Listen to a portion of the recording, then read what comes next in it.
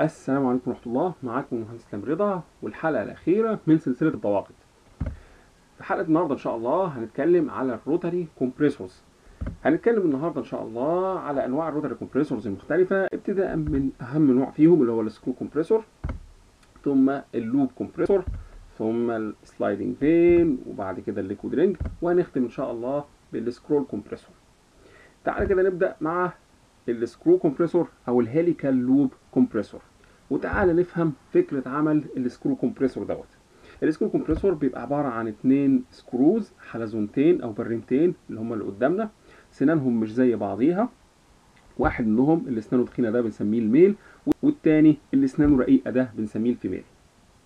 في اي واحد من الاتنين السنة بتاخد لفة كاملة واحدة على امتداد ال screw. لو خدنا مثال الاتنين screws اللي قدامنا ومسكنا أي سنة فيهم فنلاقي السنة دي ماشية كده حلزونه حوالين جسم ال rotor دوت لغاية لما ترجع في الآخر لنفس النقطة اللي بدأت منها عند نهاية ال screw أهو السنان دي بتقوم بدور المكابس اللي بتعصر الغاز المتواجد في الفراغات ما بين السنان وبعضها زي ما هنشوف دلوقتي. تعال نشوف بقى كده إزاي ال screw compressor بيشتغل. اللي قدامنا ده screw compressor زي ما إحنا شايفين كده فكرته شبيهة بال gear pump لو تفتكروا. الاتنين screws دولت بيبقوا معشقين مع بعض وبعدين بيفكوا التعشيق وبعدين بيعشقوا تاني. لما الاتنين screw يفكوا التعشيق الفراغ اللي ما بين السنان هيزيد وبالتالي الضغط يقل وبالتالي يسحب شحنة غاز جديدة من فتحة ال suction الغاز ده هيملى الفراغات ما بين السنان وهيبدأوا يلفوا بيه لغاية لما السنان ترجع تعشق. فتعصر الغاز دوت وتطرده من فتحة ال discharge اللي موجودة في الناحية التانية. لاحظ إن على عكس ال gear pump اللي السنان بتاعتها كانت عدلة فالاتنين screws هنا السنان بتاعتهم حلزونية وبالتالي عملية العصر ديت بتتم على طول ال screw في الاتجاه ال axial تعال نقسم لك الفكرة دي. آدي الاتنين screws اهم وبيلفوا عكس بعض. لما السنان تفك من بعضها الفراغات اللي ما بينها هتسحب شحنة غاز من فتحة ال suction اللي هي معرضة ليها. وكل ما الاتنين screws دولت يلفوا أكتر الفراغ ده هيكبر وبالتالي هيسحب كمية أكبر من الغاز لحد ما الفراغات ديت تتجاوز فتحة ال suction ساعتها مفيش غاز تاني هيدخل للفراغين دول. طيب فين بقى عملية ال compression عملية ال compression هتتم لما السنان تبدأ تعشق في الفراغين دولت من تحت. تعال نشوف كده من تحت بيحصل إيه. آدي أهوت الفراغين هم وصلوا للمكان ده. هتبدأ السنان تدخل فيهم بحيث تعصر الغاز اللي ما بينهم. ادي اهو المرحلة اللي وراها. حصل تعشيق خلى الغاز ينضغط في فراغ أقل ويستمر التعشيق ده لغاية لما الغاز ينضغط في أضيق مساحة ويتحط قدامها فتحة discharge يطلع منها الغاز. وادي شكل ال screw compressor اهو الغاز بيدخل من ناحية يتشفط وبعدين يتعصر جوه ال screws بحيث يطلع من الناحية التانية في آخر ال compressor. وادي screw air compressor حقيقي. الهواء بيدخل من الفلتر اللي فوق بيمشي بيدخل على ال screw يتعصر على طوله لغاية أما يطلع في آخره وينزل على ال air receiver أو الخزان. ولو بصيت من جوه ال compressor هتلاقي الاتنين screws اهمت وادي في الأول وفي الآخر لازم يكون في seal يمنع هروب الغاز ولازم يكون في bearing يشيل ال shaft وبيكون في timing gears يضمنوا إن الاتنين screws يلفوا مع بعض بتزامن الفيلم اللي قدامنا ده بيوضح لنا فكرة عمل ال screw compressor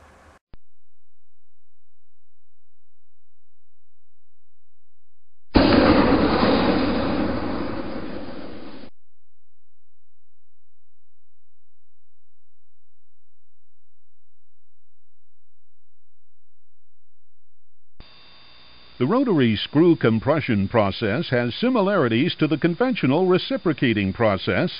In the reciprocating process, varying the cylinder volume through piston motion produces suction and discharge events. If pistons could be designed to continue in one direction, efficiency would be dramatically increased through eliminating the constant need to overcome piston reversal inertia. As long as we are in the theoretical world, let's imagine that we have the ability to easily vary the stroke length and the suction volume. To get to this ideal world, let's eliminate the conventional cylinder and replace it with a cylinder that has multiple open chambers. Then we replace the piston with one that has four displacement lobes sized to fit each cylinder chamber. Now if we apply counter twists to the piston and cylinder, we have the basis for our rotary screws. As the rotors rotate, flute volume is progressively increased in the area directly above the point where the male and female lobes make contact. This suction process continues until we have filled the flute completely. Now we have established our input volume. As the rotors continue to rotate, they will eventually mesh again in the chamber we just filled with gas. Now the point where the rotors meet forms the compression seal. As the volume is reduced in the flute, pressure increases. The pressure will continue to increase until the gases are allowed to escape. When utilizing rotary screw compressors, the compression process is constantly occurring within all of the flutes, on both the male and female rotors. In this presentation, we will describe the compression process for rotary screw compressors.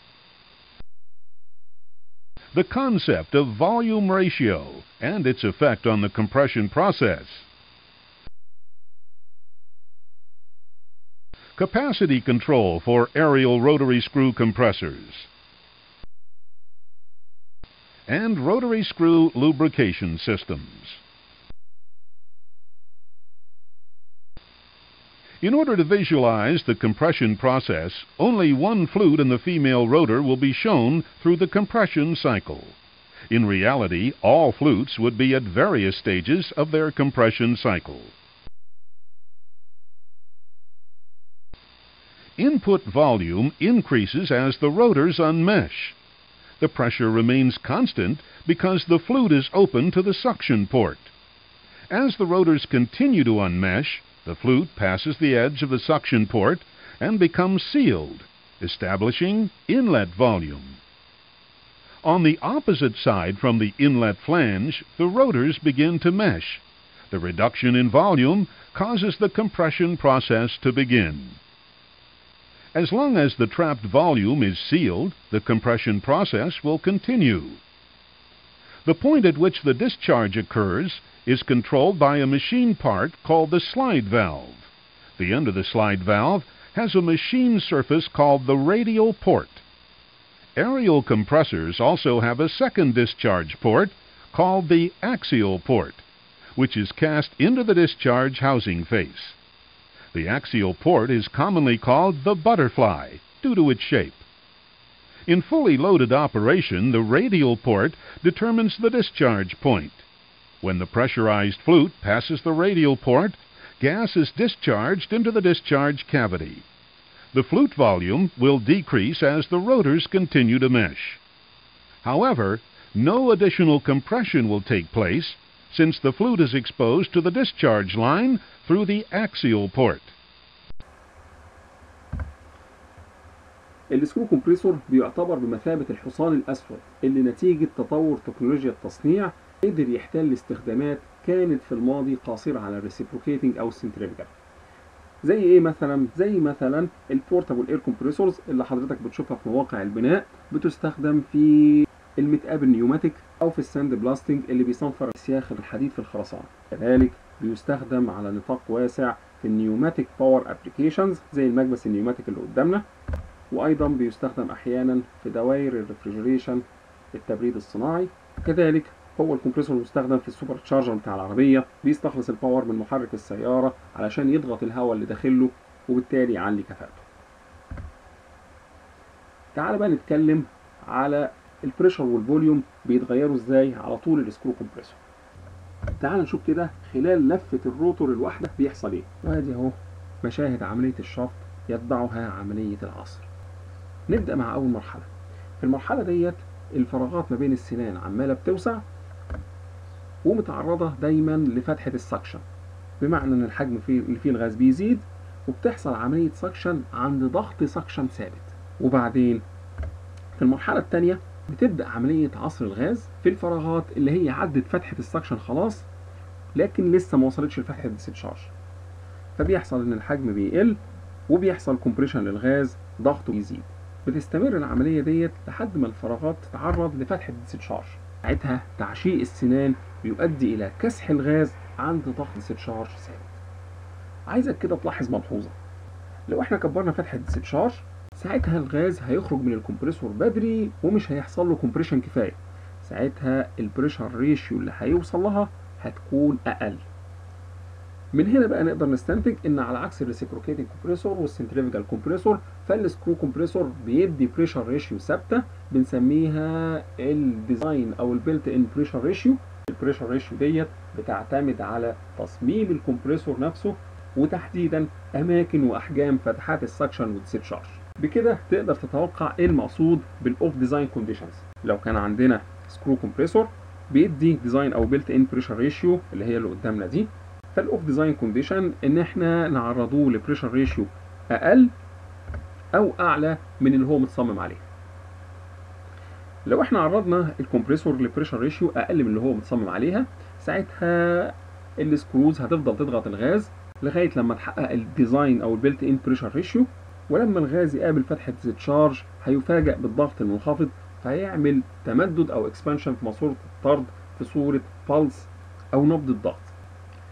بنسمي الظاهرة دي over compression والمساحة ديت بتعتبر energy lost لأننا ضغطنا الغاز أكتر من المطلوب. أما بقى لو عرضنا ال compressor ل pressure ratio أكبر من ال built-in أو design pressure ratio ساعتها برضو الغاز هينضغط لغاية الضغط اللي هو متصمم عليه.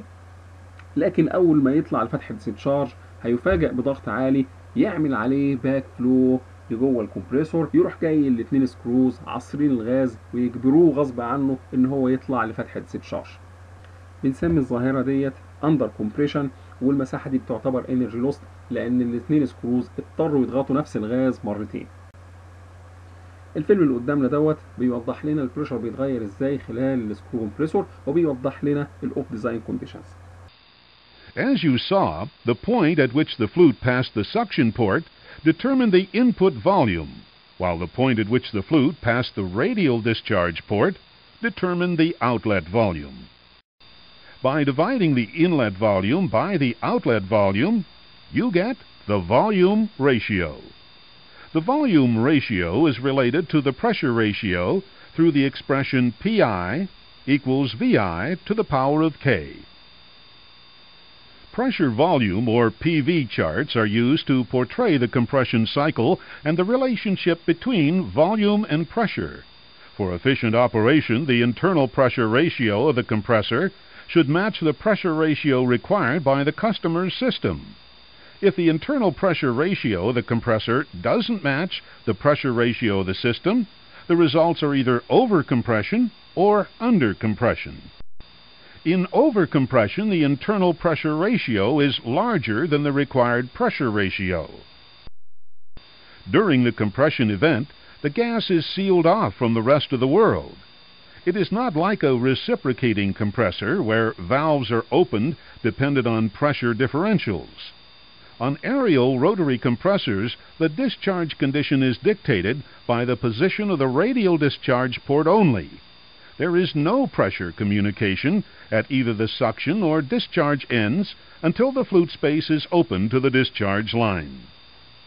The pressure continues to build beyond the line pressure as the flute volume is reduced. From the point where the flute space is open to the discharge line, the gas expands until the pressure is equalized. Overcompression wastes power because more work is done on the gas than the system requires. Conversely, undercompression can also be a problem. Undercompression is caused when the internal pressure ratio of the compressor is lower than the pressure ratio required by the system. In undercompression, the internal pressure developed in the flute space is lower than the discharge line pressure. When the flute spaces are open to the discharge line, gas will backflow from the line into the flute space until the pressures are equalized. The rotors continue to rotate, reducing the flute space volume and forcing the gas into the discharge line through the axial port. Under compression wastes power by compressing the same gas twice. تعالى بقى لأنواع السكرو كومبريسور. مشكلة السكرو كومبريسور الأساسية هي الفريكشن عالي ما بين الاثنين سكروز واللي بدوره هينحرهم بسرعة. وعشان نحل المشكلة دي قدمنا حلين. أول حل إن إحنا نلفف الاثنين screws بخلوص يمنع الاحتكاك.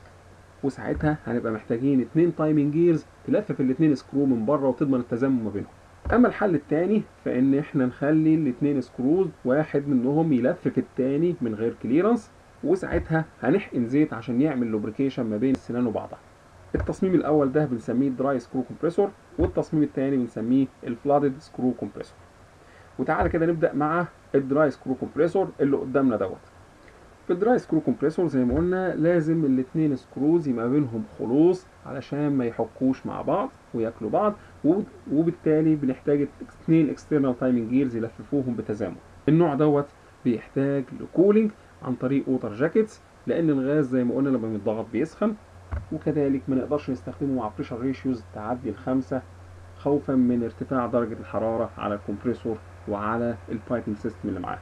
بيعيبه كمان إن إحنا لازم نلفف الاثنين screws بسرعات عالية بتوصل ل 8000 أو 9000 RPM علشان نلحق نضغط الغاز قبل ما يرجع يهرب في الفراغات اللي ما بين السنان وبعضها.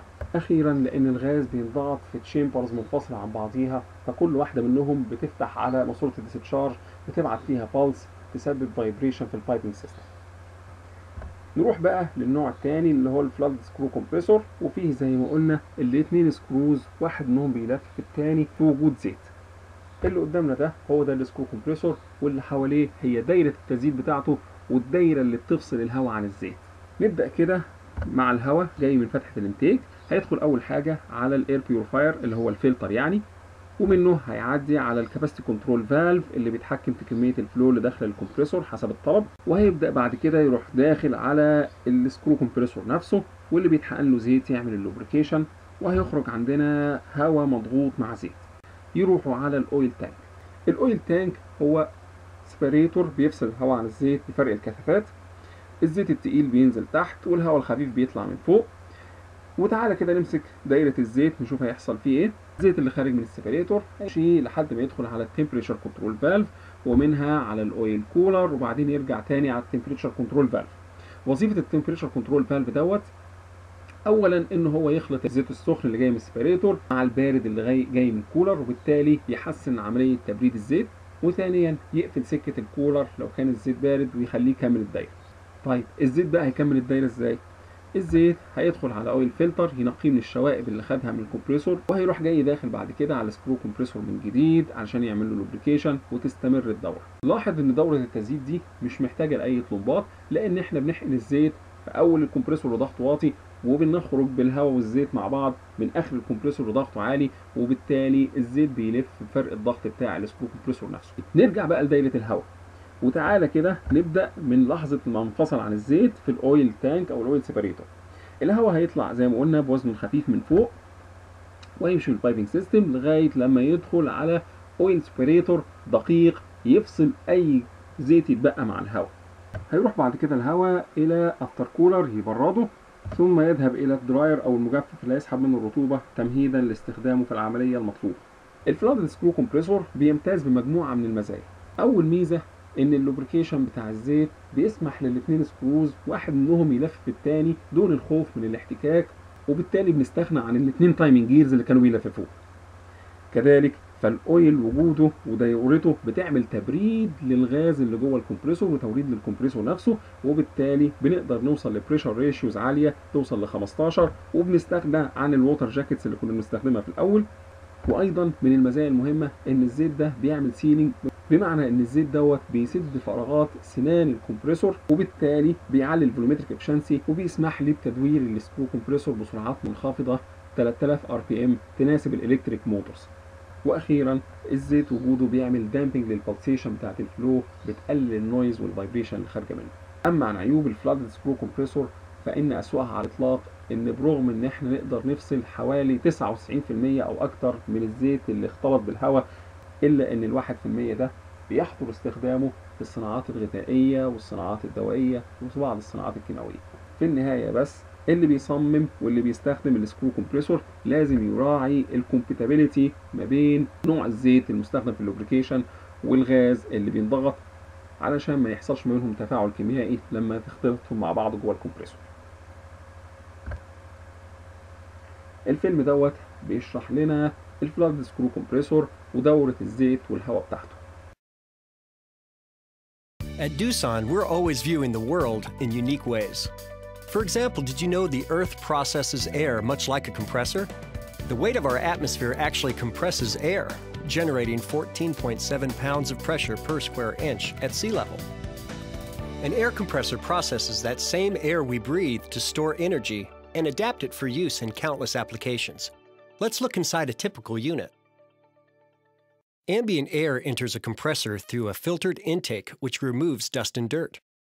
This filter should be replaced at timely intervals to ensure the compressor is protected from unwanted contaminants. Dirty or restricted filters cause pressure drops and reduced efficiency. Filtered air continues through sealed piping to an inlet valve that controls the volume of air reaching the air end and prevents oil from reversing towards filters after shutdown. Next, air enters the air end, which is a fixed displacement pump that uses two helical rotors to compress air. As the rotor screws turn, they form a partial vacuum which sucks air into the helical rotors. The amount of air that fills the air end is measured in cubic feet or meters per minute. As air travels along the helical rotor flutes, the space storing the air gets progressively smaller.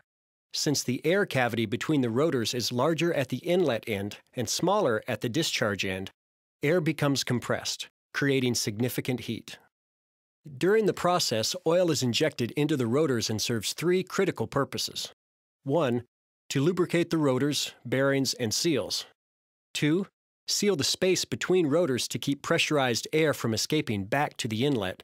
And three, remove heat from the system so the air can run at optimal temperatures. Using oil to maintain proper temperatures maximizes efficiency of the compression cycle. The air, now mixed with oil, exits the air end through a discharge port and is piped to a separator tank. Here, the separator will remove some of the oil from the air and let it accumulate in the pressurized tank.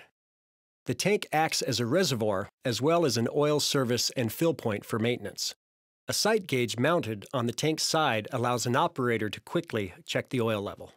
Next, hot oil flows from the bottom of the separator tank and through the oil temperature bypass valve. If the oil is too hot, it moves through a cooler to lower the temperature.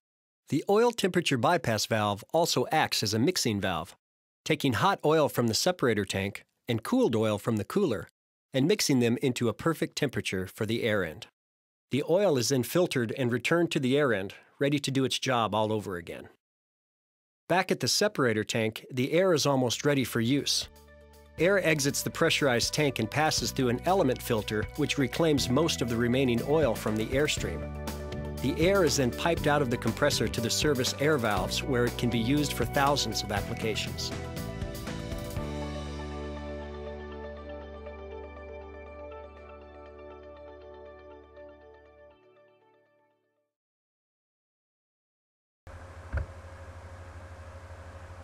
نروح بقى لطرق الكاباسيتي كنترول بتاعة ال screw compressor.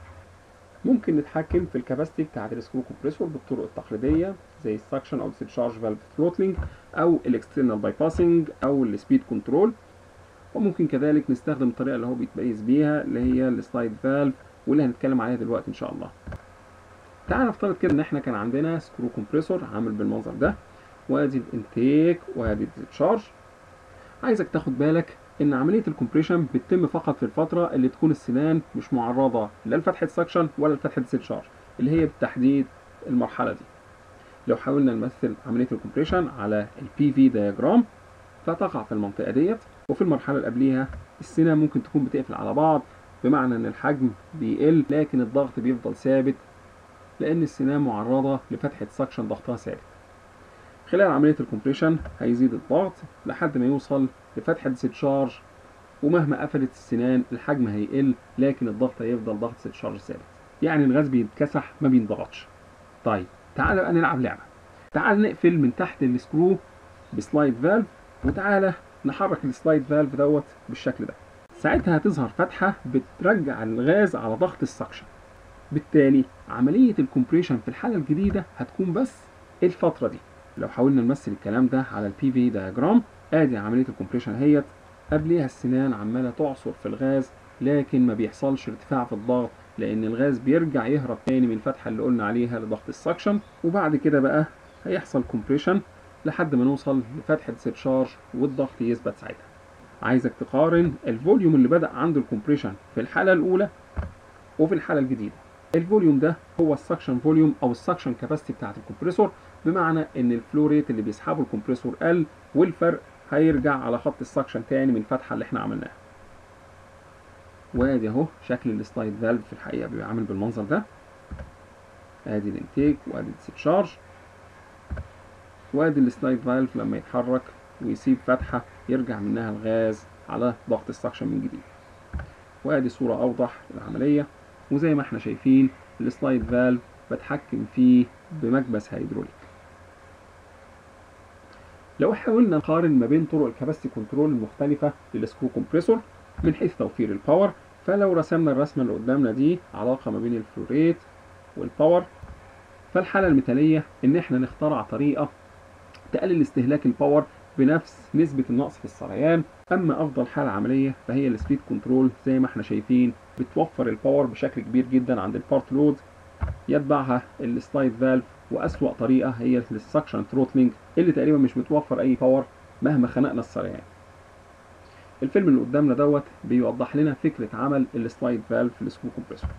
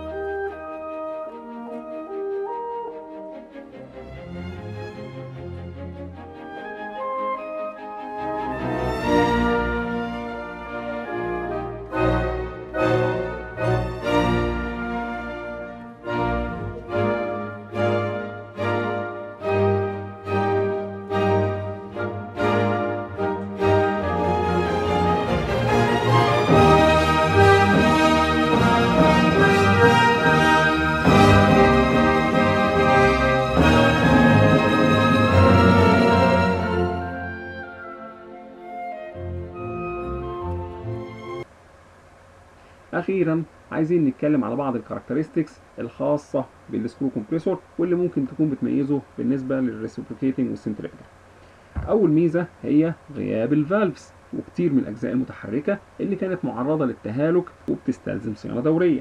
تاني ميزة وزنه الخفيف وتصميمه البسيط مقارنة بال reciprocating وتالت ميزة إن هو مش بيولد shaking force و vibration كبيرة زي ال reciprocating واللي كانت بتستلزم إن ال foundation بتاعه يكون قوي.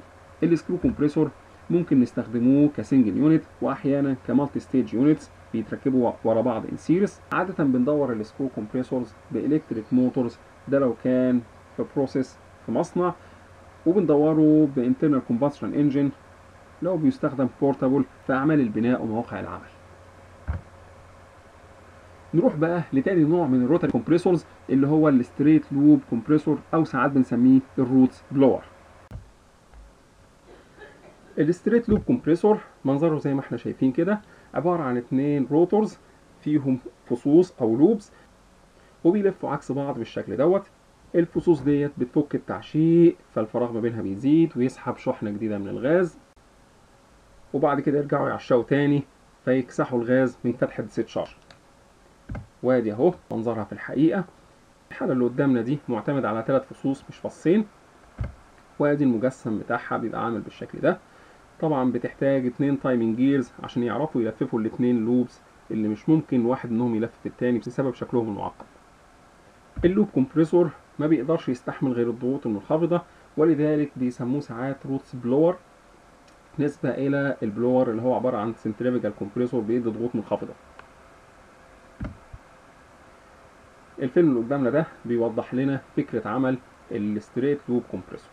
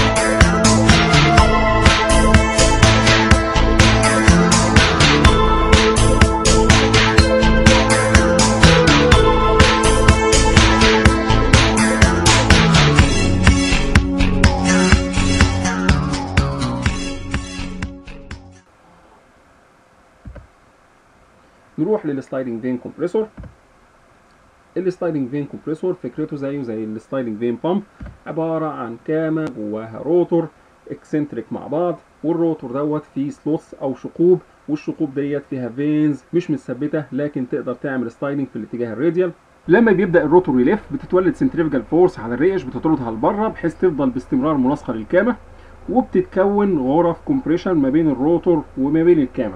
الغرف دي حجمها بيزيد وبعد كده بيقل في المناطق اللي حجمها بيزيد بتقدر تعمل suction وبعد كده لما حجمها يقل تكسح الغاز يعني تعمل discharge وادي منظره في الحقيقة بيبقى عامل بالشكل دوت. ال sliding vane compressor بيستخدم على نطاق واسع ك vacuum pump طرمبة خلخلة تفرغ الغرف من الغاز. الفيلم ده هو أروع فيلم بيشرح لنا فكرة عمل ال sliding vane compressor هو والدايرة الملحقة بيه.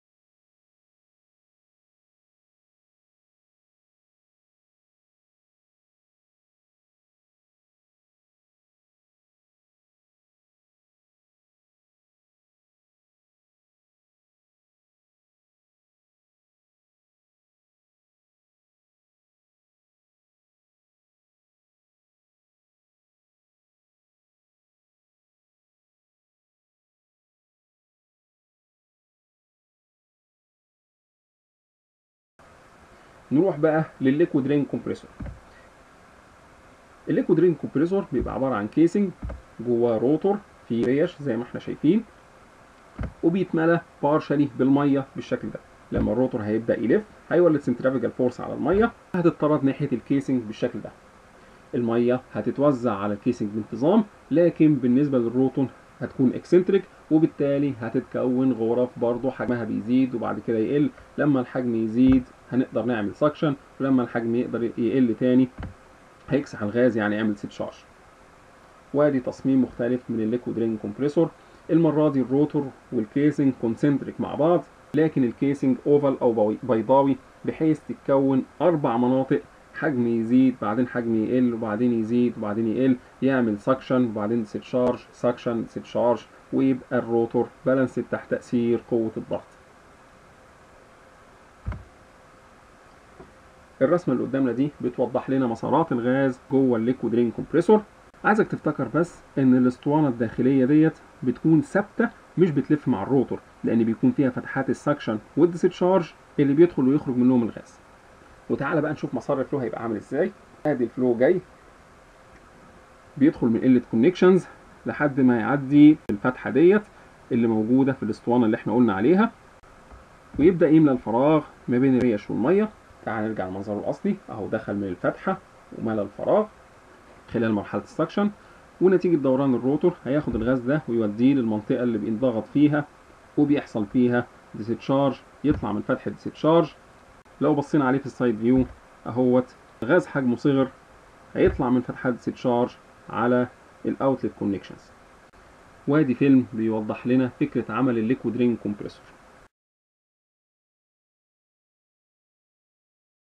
This animation explains the basic working principle of a liquid ring vacuum pump. The impeller throws the water around just like in a washing machine. The void in the center of the machine is airspace. The water ring moves away from the center of the impeller. This motion draws in air molecules represented here by white balls through the inlet port. When inside the pump, the gas is compressed as the water ring moves back towards the center of the impeller. The air is then discharged through the outlet port. The key point here is that the water ring generally becomes contaminated with the process gas. This waste liquid can become an environmental disposal nightmare.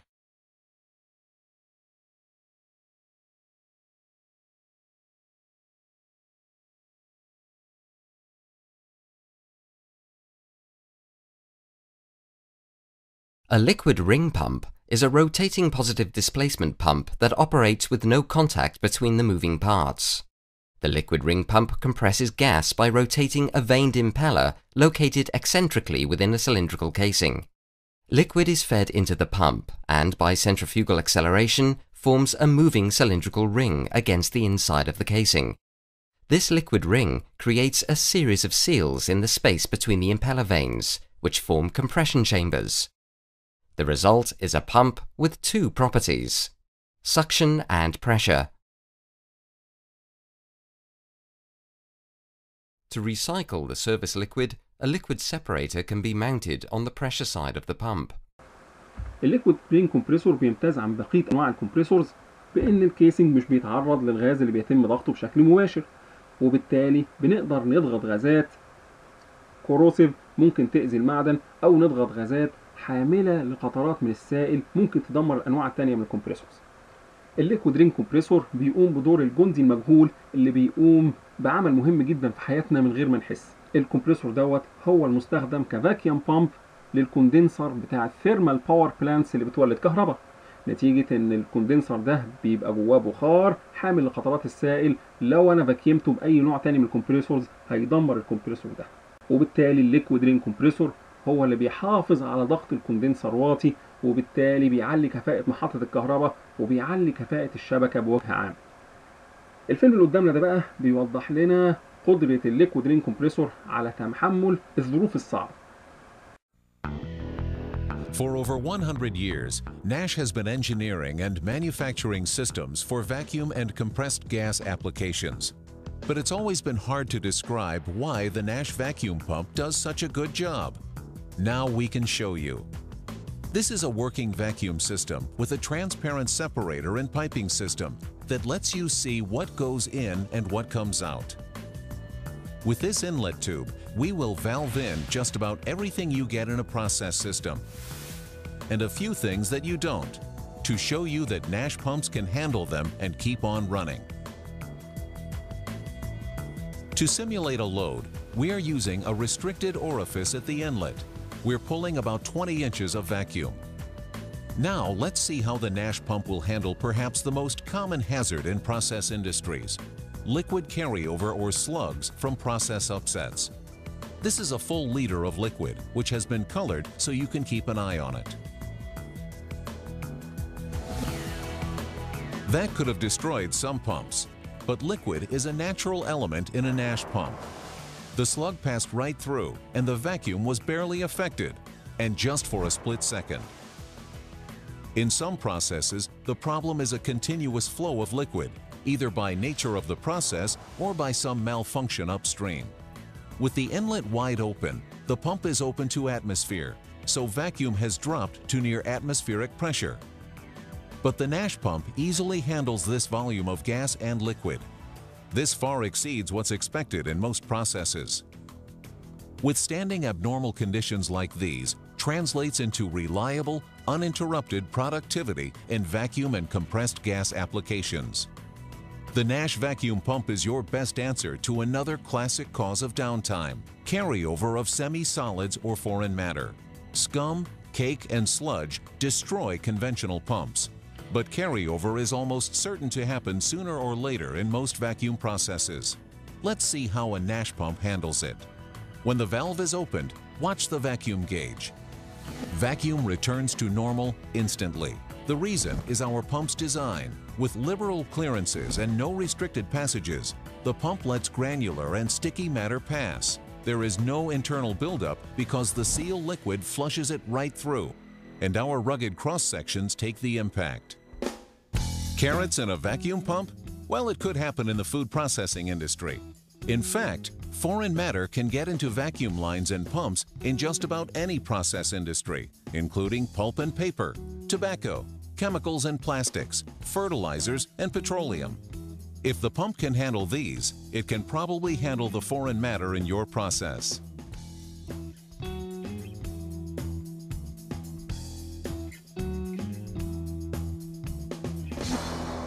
The Nash features that make this possible are your guarantee against breakdowns and costly downtime. Your Nash representative can show you how this assurance of uninterrupted productivity can be engineered into your system. اخيرا مع السكرول كومبريسور السكرول كومبريسور بيبقى عباره عن اتنين سكرولز او اتنين سبايرالز واحد منهم ثابت والتاني بيعمل رولينج حواليه اوربيتنج بالشكل دوت نتيجة كده بتتكون فراغات تسحب الغاز ما بينها وتبدأ تنقله وتضغطه لغاية ما تطلعه من فتحة ال discharge في النص. ال scroll compressor لما نقارنه بال reciprocating فهو بيتحرك حركة rolling بتقلل الاحتكاك وبتعلي كفاءة ال compressor وكذلك ما بيبقاش فيه ال clearance volume اللي شايل كمية غاز محتاجين نعمل لهم expansion قبل ما نفتح محبس ال suction وبالتالي ال volumetric efficiency بتاعته بتبقى عالية. كذلك ال scroll compressor بيمتاز بال noise الواطية وال vibrations القليلة ولذلك بدأ يتم استخدامه على نطاق واسع في ال air conditioners أو مكيفات الهواء. وده فيلم عندنا بيوضح فكرة عمل ال scroll compressor واجزائه المختلفة.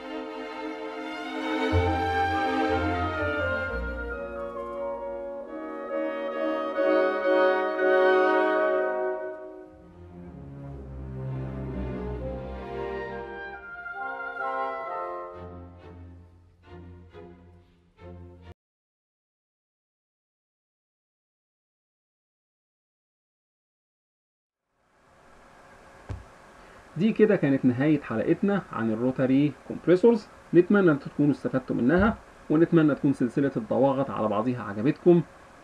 ونشوف وشكم على خير إن شاء الله. والسلام عليكم ورحمة الله.